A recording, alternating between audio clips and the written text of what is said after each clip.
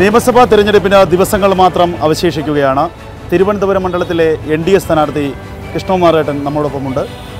അദ്ദേഹത്തിന്റെ വാക്കുകളിലേക്ക് നമുക്ക് കടക്കാം. കൃഷ്ണമേട്ട ഇനി ദിവസങ്ങൾ മാത്രമാണ് അവശേഷിക്കുന്നത്. ഏറ്റവും അവസാന ലാപ്പിലേക്കുള്ള ഒരു പ്രചരണത്തിലേക്ക് എത്തിക്കഴിഞ്ഞു. എന്താണ് ഇപ്പോൾ ഫീൽ ചെയ്യുന്നത്? നൂറ് ശതമാനം വിജയമാണ് നമ്മുടെ മുമ്പിൽ കണ്ടുകൊണ്ടിരിക്കുന്നത്. കാരണം നമുക്കുള്ള വോട്ട് ബി ജെ പിക്ക് നരേന്ദ്രമോദി നയിക്കുന്ന ഭാരതീയ ജനതാ പാർട്ടിക്കുള്ള വോട്ടിന് പുറമെ ഇരു കൂട്ടരും ഇതുവരെ ഈ മണ്ഡലത്തിൽ കാട്ടിക്കൂട്ടിയിരിക്കുന്ന അതിന് വാക്കുകളില്ല കാരണം അഴിമതിയെന്നോ അല്ലെങ്കിൽ ചതിയെന്നോ ഒന്നുമല്ല പറയേണ്ടത്. ജനങ്ങളെ ഇങ്ങനെ പച്ചയ്ക്ക് പറ്റിച്ച എത്ര വർഷങ്ങൾ ജനങ്ങളത് തിരിച്ചറിഞ്ഞ് തുടങ്ങിയിരിക്കുന്നത് കാരണം ഇത്രയും കാലം മൂന്നാമതൊരു ഓപ്ഷനില്ല. കോൺഗ്രസിന് കൊടുത്ത അടുത്ത തവണ കമ്മ്യൂണിസ്റ്റിന് കമ്മ്യൂണിസ്റ്റ് കൊടുത്ത് മടുക്കുമ്പോൾ കോൺഗ്രസ്സിന് ഇന്ന് പുതിയൊരു പാർട്ടി അതിശക്തമായ പാർട്ടി പറയുന്നത് ചെയ്ത് കാണിച്ച ശ്രീ നരേന്ദ്രമോദിയുടെ പാർട്ടിയാണ് ഇന്നിവിടെ ഇരിക്കുന്നത്. അദ്ദേഹത്തിന്റെ റെപ്രസെന്റേറ്റീവാണ് ഞാൻ. അപ്പോൾ ജനങ്ങൾ പറയുന്ന വഴി ഞങ്ങൾ കോൺഗ്രസ്സുകാരായിരുന്നു. ഞങ്ങൾക്ക് മതിയായി. ഞങ്ങൾ ഇത്രയും കാലം പറ്റിക്കുകയായിരുന്നു. കമ്മ്യൂണിസ്റ്റുകാർ ഇത് തന്നെ പറയുന്നു. അത് തിരുവനന്തപുരം സിറ്റിയിലോട്ട് നോക്കിയാലും അല്ലെങ്കിൽ കടപ്പുറം ഭാഗത്തോട്ട് പോയാലും ഇത് തന്നെ അവസ്ഥ. കാരണം എവിടെ ചെന്നാലും ദുരിതത്തിന്റെ കഥയാണ് പറയാൻ കിടക്കുന്നത്. ഇപ്പോൾ തന്നെ നമ്മൾ നോക്കുക. ഈ പാർക്കൊക്കെ ഇപ്പോൾ ഇവിടെ നമ്മുടെ കൗൺസിലർ വന്നിരിക്കുന്ന. ഇവിടെ പ്രോജക്റ്റ് കൊടുത്തിരിക്കുന്നത് നന്നാക്കാൻ പോവുക. ഇതൊക്കെ എത്ര മനോഹരമാക്കി ഇടേണ്ട സ്ഥലമാണ്. അതായത് ആൾക്കാർക്ക് വന്ന് ഇരിക്കാൻ സൗകര്യം വേണം. രണ്ട് നടക്കാനുള്ള ചെറിയ വോക്ക് ഉണ്ടാക്കി വെക്കുക. പ്രായമായവർക്ക് വന്ന് വൈകുന്നേരം കുട്ടികളുമായിട്ട് കളിക്കാൻ എന്തൊക്കെ സൗകര്യങ്ങൾ ചെയ്യാം? ഇത് ഓരോ സ്ഥലത്തും നമുക്കിങ്ങനെ തമിഴ്നാട്ടിൽ കണ്ടിട്ടില്ലേ? പൂങ്കാവനം എന്ന് പറയും. അപ്പോൾ ഇതുപോലെ മനുഷ്യന്റെ വീട് പാർപ്പിട പ്രശ്നമാണ് മറ്റൊരു വലിയ പ്രശ്നം. കാരണം നമ്മുടെ സ്വാതന്ത്ര്യത്തിന്റെ എഴുപത്തഞ്ചാം വാർഷികം പ്രമാണിച്ച് എല്ലാവർക്കും സൗജന്യമായി പാർപ്പിടം കൊടുക്കാൻ ഭരണകൂടം കേന്ദ്രഭരണം തയ്യാറായിരിക്കുന്നു. പക്ഷേ ഇവിടെ ലൈഫ് മിഷന്റെ പേരിൽ നശിപ്പിക്കുന്നു.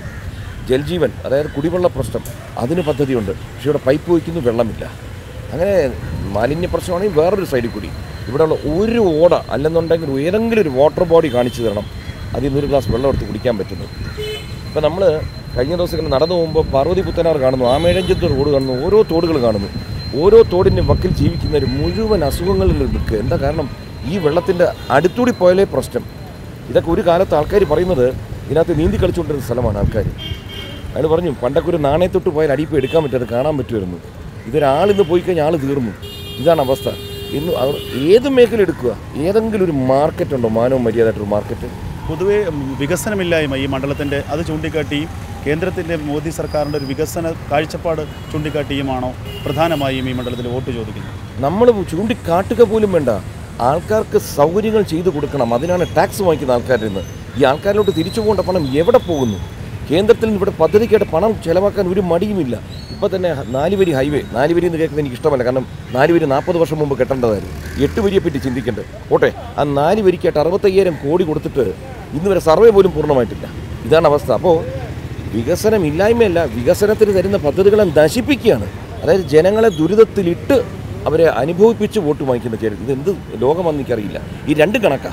കൃഷ്ണകുമാരനടക്കം ഈ ശ്രീധരനടക്കം വലിയ പ്രഗത്ഭരായ ആളുകൾ എന്താ കലാകാരന്മാർ അതുപോലെ ബഹുമുഖ പ്രതിഭകളൊക്കെ തന്നെ ബി ജെ പിയിലേക്ക് വരുന്നു. വലിയ തരത്തിലുള്ള പ്രതിഷേധവും അതുപോലെ തന്നെ സൈബർ ആക്രമണവും പലപ്പോഴും നേരിടേണ്ടി വരുന്നുണ്ട്. ഇത് ബി ജെ പിയിലേക്ക് വരുന്നത് കൊണ്ടാണോ മറ്റേതെങ്കിലും രാഷ്ട്രീയ പ്രസ്ഥാനത്തിലേക്ക് പോവുകയാണെങ്കിൽ ഇത്തരത്തിലുള്ള ആക്രമണം നേരിടേണ്ടി വരുന്നില്ല? എന്താണ് അങ്ങനെ ഒരു കാഴ്ചപ്പാട്? ഇത് ഈ പറഞ്ഞ സൈബർ ആക്രമണം മുഖ്യമായിട്ട് എനിക്ക് കമ്മ്യൂണിസ്റ്റ് പാർട്ടിയിൽ നിന്നാണ് വരുന്നത്. കമ്മ്യൂണിസ്റ്റ് പോരാളികളാണ് എനിക്ക് സൈബർ ആക്രമണം എനിക്കും എന്റെ കുടുംബത്തിനെതിരെ നടത്തുന്നത്. എന്തുകൊണ്ടെന്ന് സിമ്പിളല്ലേ ലോകത്ത് മുഴുവൻ ഈ സാധനത്തിനെ തൂത്തെടുത്ത് വെളിയിൽ കളഞ്ഞു. ത്രിപുരയെ കളഞ്ഞു. വെസ്റ്റ് ബംഗാളിൽ പോയി. ഇനി ഒരേ ഒരു തുരുത്തുണ്ട് കേരളത്തിനകത്ത് കിടപ്പുണ്ട്. മലയാളികൾക്ക് കാര്യം ഉദിച്ചു കഴിഞ്ഞു. ഇതൊരു ക്യാൻസറാണ്. അവരെടുത്ത് വെളിയിൽ കളയുന്നതിന്റെ വക്കിലെത്തി. അപ്പോൾ ആ കാണുന്ന പരാജയ ഭീതി ഉണ്ടല്ലോ പരാജയ ഭീതി മാത്രമല്ല മാനഹാനിയും സർവത്ര രീതിയിലോ തോറ്റ് തുന്നം പാടി അപ്പം കാണിക്കുന്നത് എന്താണ്? മറ്റുള്ളവർക്കെതിരെ ഈ പണ്ട് പറയും നേരെ തോപ്പിക്കാൻ പറ്റിയ കൂവി തോപ്പിക്കുക എന്ന് പറയും. അതൊന്നും ഇവിടെ നടക്കില്ല. ജനത്തിന് ബോധമുണ്ട്. ഈ ഇലക്ഷൻ കഴിയട്ടെ. കാണാം. എങ്ങനെയാണ് ഒരു ഈ ഇതുവരെയുള്ള ആളുകളുടെ എന്നുള്ള പ്രതികരണം? പ്രവർത്തകരുടെ സാധാരണ ജനങ്ങളിൽ നിന്നുള്ള പ്രതികരണം എങ്ങനെയാണ്? ആളുകളുടെ പ്രതികരണം വെച്ചാൽ ഗതികെട്ട് നിന്ന ജനത്തിന് ഒരു ആശ്വാസമായിട്ടാണ് ബി ജെ പിയുടെ സ്ഥാനാർത്ഥികളെ കാണുന്നത്. കാരണം ഇത്രയും നാളും ഇടത് ചെയ്യാത്തതിന് വലതിനോട് പറയാം. ഈ വലത് കയറിയിട്ട് എന്താ ചെയ്യുന്നത് ഇപ്പം നമ്മൾ തന്നെ പറയുന്നു ഇപ്പോൾ ശിവകുമാറിന്റെ അഴിമതിയിലും വിജിലൻസ് കേസിൽ എവിടെ പോയി? എന്താണ് ആരോഗ്യ രംഗത്ത് നടന്ന അതായത് ആധുനികവൽക്കരിക്കുന്നു എന്ന് പറഞ്ഞ് ഇവിടെ വലിയൊരു പ്രോജക്റ്റ് കൊണ്ടുവന്നിട്ട് അറുന്നൂറ് കോടി രൂപയുടെ അഴിമതിയാണ് നടന്നത്. ഓക്കെ? അതിന് വിജിലൻസിന്റെ അന്വേഷണം ഇന്നും തീർന്നില്ല. അതവിടെ ഇരിക്കുകയാണ്. അപ്പോൾ എന്താ സംഭവിച്ചത്? അവിടെ ആരോഗ്യ വകുപ്പിൽ ഇടതിന്റെ ഉന്നതരനകത്തുള്ളത് കൊണ്ടാണ് കേസിനെ തണുപ്പിച്ചു വെച്ചിരിക്കുന്നത്. ആ കേസ് തീർന്നിട്ടില്ല. അപ്പോൾ ഇരു കൂട്ടരും ചേർന്ന് അറുന്നൂറ് കോടി രൂപയുടെ അഴിമതിയിൽ ഇരു കൂട്ടർക്കും പങ്കുണ്ട്. അത് നമുക്ക് എല്ലാവർക്കും അറിയാവുന്ന വിജിലൻസ് കേസുണ്ട് വിജിലൻസ് കേസ് എടുത്തു പറഞ്ഞ ഒന്നാം പ്രതി ശ്രീ വി എസ് ശിവകുമാറാണ്.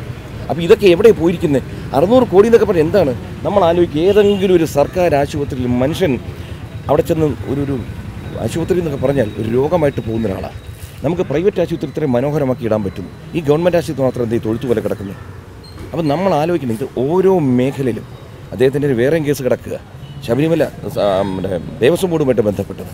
ഞാൻ ചോദിക്കുന്നത് കക്കലും അഴിമതിയാണ് ഒരു സൈഡിൽ ജനങ്ങൾക്ക് എന്തെങ്കിലും ചെയ്തു കൊടുക്കണം.